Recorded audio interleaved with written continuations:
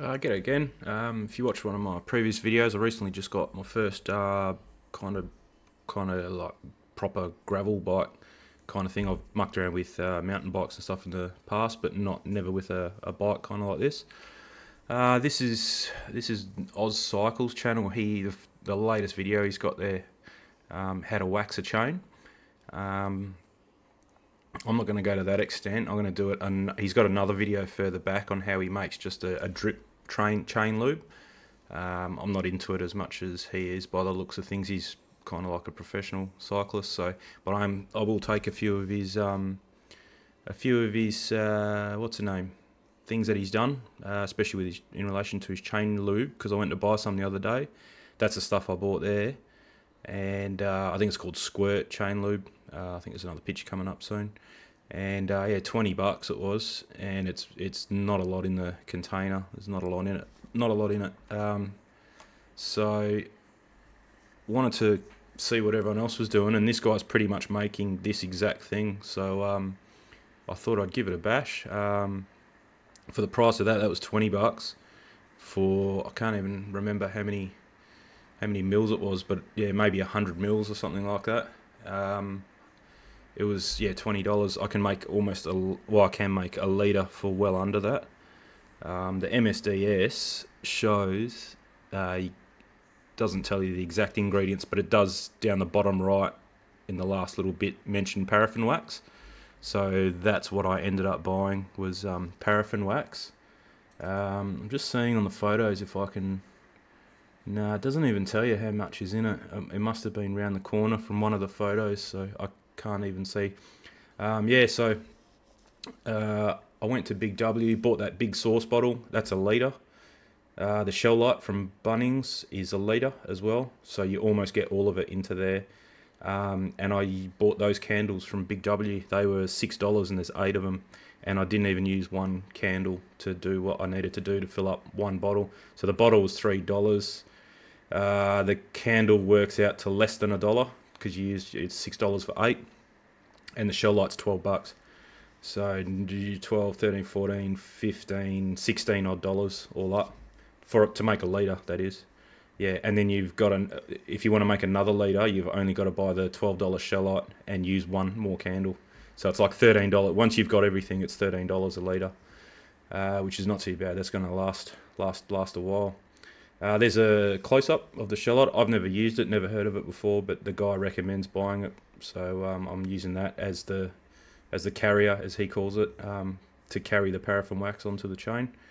Uh, it's used as a bit of a fuel, so um, yeah, I didn't didn't know that uh, for stoves and stuff like that. But you can use it to like a wax and grease remover and stuff like that. So if you watched the previous video when I did those cupboards, um, cupboard uh, hinge alterations. I bought that saw. It's a, like a flexible saw. I started using that. Actually, I started using a planer, like a little mini planer, but after about three goes, it gets uh, gunked up. So uh, you can't use it anymore. But um, so then I switched to that saw. That was doing not a bad job, but if you slip, you're going to catch your thumb. I did it a few times there. So then I flicked over to a just a metal ruler, and that actually did the best job. So almost like a pencil sharpener. So um, yeah, that was working pretty well. So I just kept going with that. Only took about five minutes. Um, stripped the candle, uh, no dramas. Uh, I then went on. I modified the bottle lid a little bit because the the nozzle that's there is for tomato sauce. Obviously, it's too too big for um too big to for that chain lube to uh, come out. You're gonna you, you, know too much will come out. So I just put a little um, dripper kind of tube on there. Uh, that line. So he he was saying one third of the bottle to be um, paraffin wax, and then two thirds uh, Shellite to fill it up. So that's what I did. So that first picture there is I put more in, and then you shake it and compacts, and that's what you ended up with. So I'm a little bit over, but yeah, that's that should be fine. Uh, then I filled it up with the Shellite. Uh, it all kind of settles to the bottom. So you, I think he said you got to keep mixing it a little bit, and then you know every couple of hours go turn it over give it a mix and it should take overnight and then it should all just dissolve into the mixture uh, that's how much um, candle I had left So uh, yeah, I mean that's sixty odd or eighty cents. I think it works out for a candle, and I still had a bit left over to use in the next one. You just got to be careful. You don't want any of that wax. Uh, the you don't want any of the wick going in. So just be careful. You don't start chopping that up and start putting string into it into the mix. And that's how much um, of the Shellite I had left over. So not too bad. Um, I'll probably, if I if I use a bit of that, I'll probably just tip the rest of that in and, and shave the rest of that candle and put it in. And then you don't have that hanging around. You've just got that one bottle.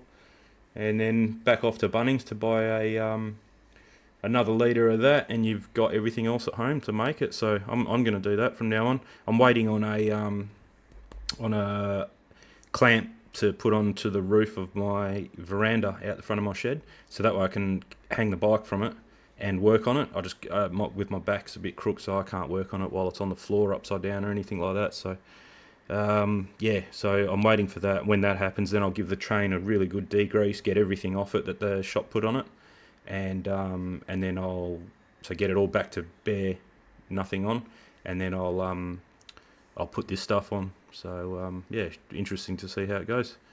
Um, I'll keep you updated anyway. Um, don't really know. I mean, if you want to watch more on the testing and stuff, probably watch the guy over there at Oz Cycle. He's done seven, eight years of testing, he reckons. So, you know, he's he's got chains lasting 14,000 kilometres when normally they only last about 1,500 to 2,000.